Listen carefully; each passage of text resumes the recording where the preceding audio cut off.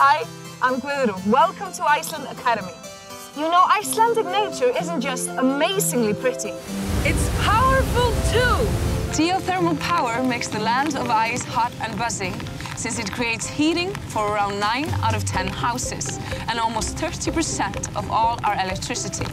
The other 70% is also created by natural forces such as water and wind. For over 100 years, we have used this natural power to generate clean energy.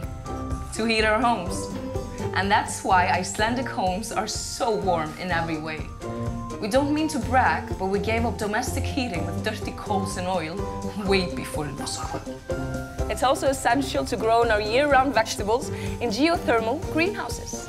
I mean, you didn't really expect these juicy tomatoes to grow wild right between the geysers and glaciers. The natural power also inspires numerous innovative companies in various fields of work, such as genetics and health-related tourism. The energy even gives us a chance to get up close to wildlife at its biggest. And it's even more special on a silent boat powered by electricity from renewable sources like waterfalls and hot steam. And last but not least, it warms our geothermal pools. And with great power comes great responsibility. To enjoy it, Skál!